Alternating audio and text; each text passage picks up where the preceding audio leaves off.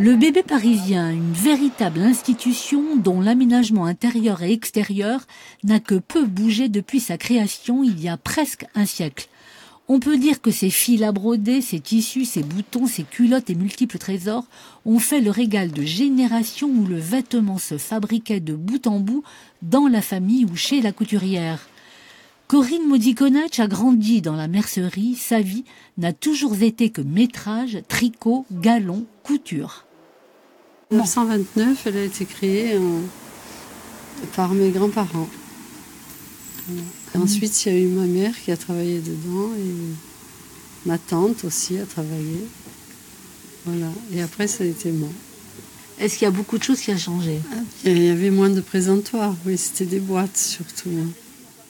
Les clientes savent que ça n'est qu'ici qu'elles trouvaient telle nuance de couleur ou tel chat d'aiguille.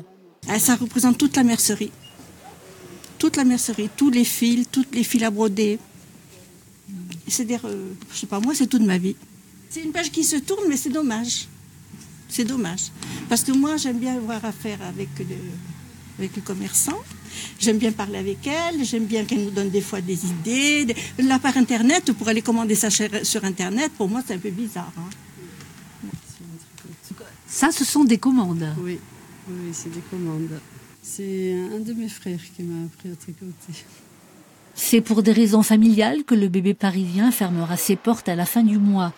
Les dernières blouses, milliers de boutons et tissus en tout genre trouveront certainement preneur. Thank you.